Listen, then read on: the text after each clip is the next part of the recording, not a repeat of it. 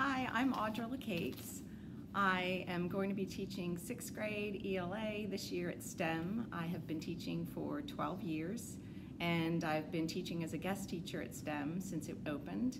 So I'm very happy to be here full time now.